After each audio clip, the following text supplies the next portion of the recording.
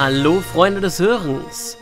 Heute geht es einmal in der Zeit ein wenig zurück, und zwar vor die Ereignisse der Reise der Near Ho. In dieser Episode werdet ihr viel über die Motive von Darth Voice erfahren und endlich vielleicht erahnen können, was der Schatz der alten Sith ist. Außerdem ist diese Episode eine kleine Hommage an die Storyline von Diablo 2. Ich hoffe, dass ich dieses dunkle, höllische Feeling ein bisschen damit rüberbringe. Und ich hoffe auch, dass ihr nun deutlich besser am Ende der Folge die Motive von Darth Voice verstehen werdet. Ich wünsche euch viel Spaß. Kurz nach Beginn des Jedi-Bürgerkrieges, lange vor den Ereignissen der Nilihau,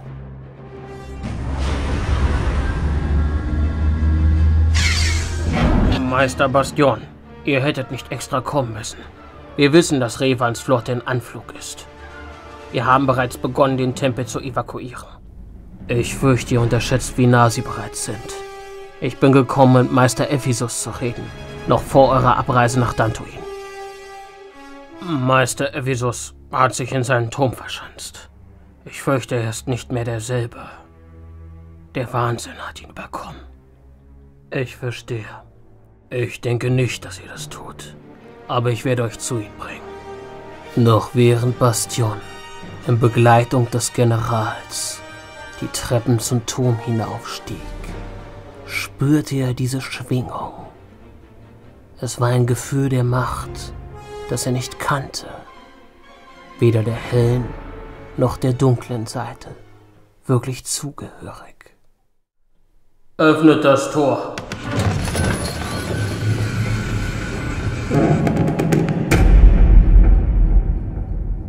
Weiter begleite ich euch nicht. Er hat ausdrücklich darum gebeten, niemanden zu sich zu lassen. Er ist anders geworden, seit er das Holocron studiert. Habt Dank, General. Wir sehen uns auf Dantuin. Zögernd betrat Bastion den dunklen Raum, als er den vor Wahnsinn gebeutelten Meister Ephisus entdeckte, der mit Dämonen zu kämpfen schien, die nur er sehen konnte. Weder dunkel noch hell, weder dunkel noch hell, wie ein Feuer in der Nacht, das sie verschlingt. Weder dunkel noch hell. Beruhige dich, Ephisus. Ich bin es. Passion, Passion. Das Hologramm, das Hologramm. Sollen. Beruhige dich, alter Freund. Was hast du herausgefunden? Das Hologramm, das Hologramm, es ist der Schlüssel zu allem. Und er wird kommen, es zu holen. Zu Pius. Er ist mit Revan zurückgekommen. Und er hat einen neuen Namen.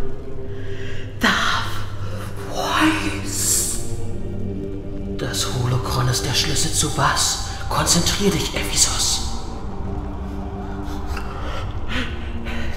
Der Orden des Bendu wollte die dunkle und die helle Seite verbinden und ein Gleichgewicht schaffen. Aber es zerriss die meisten. Gefangen zwischen hell und dunkel fanden sie keinen Punkt, der sie halten könnte. Ah, diese Stimme! Diese Stimme! Hier sind keine Stimmen, außer deiner und meiner. Du musst dich konzentrieren, Ephisus. Erzähl mir alles. Es ist das Holokron, das dir das antut. Du musst mir alles erzählen, damit keiner tun muss, was du getan hast. Das Hologramm. Das Hologramm hat mir Dinge gezeigt. Dinge sehen lassen. Was ließ es dich sehen? Was hat der Orden des Bindu geschaffen? Es ist nicht, was sie geschaffen haben, sondern was sie gefunden haben. Die Überreste eines alten Volkes, das den Tod nicht akzeptieren wollte und die Macht selbst unter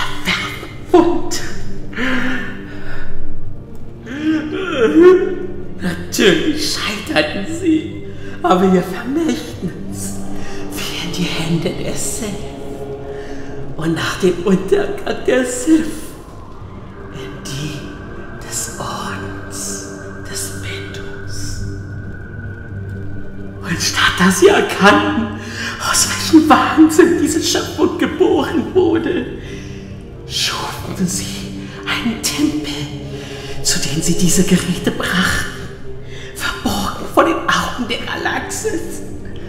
unfindbar, außer für jene ihres Ordens. Wie gelangten die Ordensmitglieder zu diesem Tempel, Ephesus? Nur ihre Schiffe konnten dorthin und auch nur mit ihren Karten. Und dann brauchte man das Holokron. Das Holokron ist der Schlüssel, um die Maschine zu aktivieren. Eine der Karten gibt es noch. Die Nearly Hope wurde aus den Überresten eines der besagten Schiffe gebaut. Ja, und deshalb müssen wir diese drei Dinge vernichten, weil ich gesehen habe, dass er kommen wird. Und das könnte das Ende von uns allen sein. Das hast du gut gemacht, Ephesus. Gib mir das Holokron. Du hast deine Pflicht erfüllt. Nehmt, es, Bastion.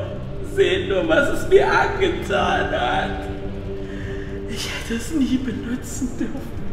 Ich habe alles falsch gemacht. Mit den Holokron in der Hand neigte er sich zu der von Wahnsinn gebeuteten Gestalt. Nein, du hast alles richtig gemacht, Ephesus. Dies war der Wille der Macht. Aber der Genauigkeit. Ich bin nicht Meister Bastion. Grüne Rauchschwall enthüllten die nur teilweise menschliche Gestalt. Lord Voice. Nein, nein, nein. Habt keine Sorge, Ephesus. Ich werde diesen Orden der Widersprüche, die Krieg für den Frieden führen,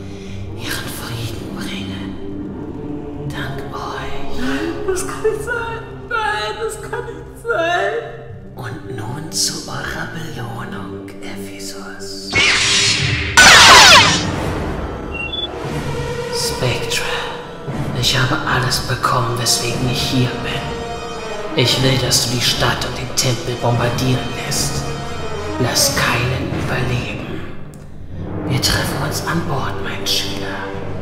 Als Lord Voice die Stufen des Turms hinabschritt, endete sein Weg in einer großen Halle, als ihn eine kleine grüne Gestalt den Weg versperrte. So schnell ihr schon gehen wollt, Tobias? Meister Wanda, es freut mich, dass ihr mich trotz meiner Entstellung wiedererkannt habt. Ich würde gern noch länger bleiben und über alte Zeiten plaudern, aber ich fürchte, ich bin verabredet. Das bedauerlicherweise nicht zulassen ich kann.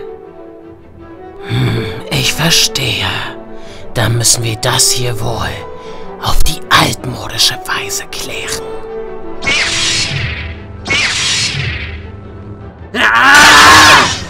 Mit Gewalt preschten die Lichtschwerter beider immer wieder aufeinander, während sie in akrobatischen Manövern versuchten, den anderen auszumanövrieren.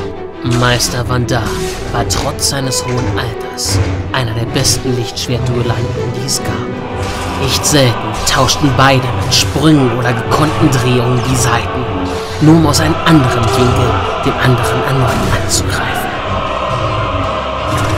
Darth Voice, der wusste, dass der Tempel jede Minute bombardiert werden könnte, wurde zunehmend frustrierter. Auch sein mechanischer Arm schien Meister Vandar nicht außer Ahnung zu bringen. Um den Druck auf Meister Vandar zu erhöhen, warf Darth Voice mit Hilfe der Macht Gegenstände nach. Doch Meister Vandar stoppte diese problemlos und ließ sie harmlos zum Boden sinken. Verlieren in eurer Wut ihr euch tote Bios.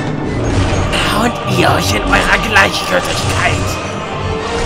Aber bei euch die Wut eines anderen es ist, die ich spüren kann. Plötzlich begannen die ersten Lasersalven in den Tempel einzuschlagen. Und als sich die Schwerter der beiden ineinander verkeilten, wusste Darth Voice, wie er das Duell beenden Sehr bedauerlich, dass unser Kampf bereits vorbei ist. Mit Hilfe der Macht zerriss Darth Voice eine der tragenden Säulen, die dank dem Bombardement beschädigt war. Nein, was habt ihr getan? Darth Voice wusste genau, dass Meister Vandar nicht zulassen würde, dass alle innerhalb des Tempels sterben würden und er die Säulen mit Hilfe der Macht stützte. Langsam ging er auf Meister Vandar zu, bis er so dicht stand, dass er ihm in sein Ohr flüstern konnte.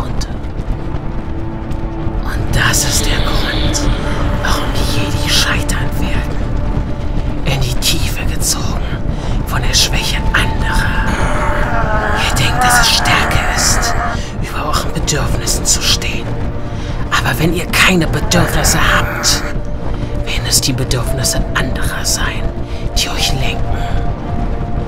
Die Gier von Senatoren oder die Schwäche der bedürftigen Bevölkerung. Und ihr werdet gezwungen sein, denselben Kampf immer und immer wieder zu führen, bis ihr selbst daran zugrunde geht. Ihr könntet alles, was ich vorhabe, stoppen, wenn ihr nur einmal die Entschlossenheit zeigen würdet. Ihr könntet einfach loslassen. Euch, mich und alle in diesem Tempel in seinen Ruinen begraben. Aber das werdet ihr nicht. Und das ist der Grund, weshalb ihr versagen werdet. Eure Worte, das Sein tun, sondern die des anderen. Spüren ich ihn in euch kann. Es ist unwichtig, wessen Worte es sind.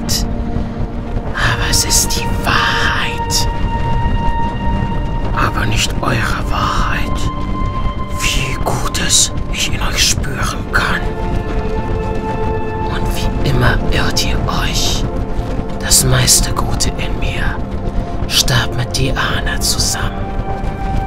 Und mit diesen Worten verließ Voice den Tempel. Es wird Zeit, dass der ewige Kampf von Licht und Schatten